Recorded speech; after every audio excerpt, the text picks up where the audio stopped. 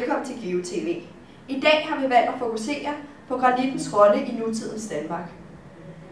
Vi har nemlig fået et nyt projekt op at køre med Sheikh Abdullah Lamin, som ønsker at bruge øh, de bornholmske naturressourcer til et nyt luksusbyggeprojekt i Dubai. Vi har derfor sendt vores reporter Jens Ole Mogensen til Bornholm for at se nærmere på det bornholmske grundfjeld. Som nu kan se, så står jeg her på Bornholm, rettere sagt uh, Sandkås, hvor et nyt fantastisk projekt er ved at blive sat i gang. Abdullah, en sheikh fra Dubai, har nemlig valgt at bruge dette granit til at bygge sit nye palæ i sit, i sit hjemland.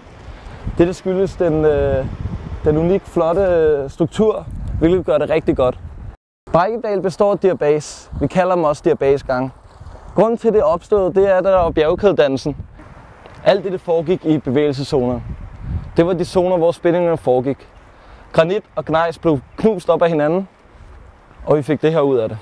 Nogle af de sprækker åbnede sig så, og bagefter røg der noget, noget flydende mørkt materiale ned. Det er det, vi kalder diabase. Øh, det røg ned og størknede så, og på den måde formede det diabasegangene. Hvad er det så, der gør, at Abdullah er så interesseret i det her bornholmske granit? Det skyldes en helt anden form for sprækketype. Kom med, så skal jeg vise jer det. Disse her kaldes plit. Det kendetegnes ved den, øh, ved den rødlige farve og den glatte yder. Det skyldes, at, de, at under smeltningsfasen der er det gået meget stærkt, så den ikke har øh, nået at blive, øh, blive hårdt. Øhm, yes, det, for, det fungerer som en lin. Som vi kan se, så har de to, øh, de to granitsten engang hængt sammen. Men, øh, ja, men de er så flettet, øh, flækket, og der er opstået sådan en aplitgang. Så man kan sige, at det fungerer som en lim. Modsat til, til aplit, som vi så på før, at det her er meget groft og har en meget mørk farve. Dette skyldes, at det går meget langsomt under smeltningen. Som naturvejleder på Bornholm, hvad mener du så om, at, øh, om ideen med at transportere granit fra det bornholmske grundfjeld til Dubai? På det punkt må jeg nok være en smule konservativ. Jeg mener ikke, at vores smukke granit skal fjernes fra denne smukke, ekstraordinære geologiske ø.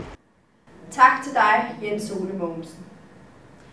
Ønsket om at bruge granitten fra Bornholms undergrund er desuden en god investering for Danmarks konkurrenceevne, mener eksperter fra Cepos.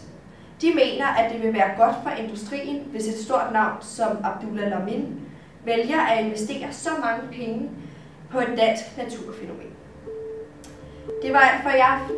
Fortsat god aften.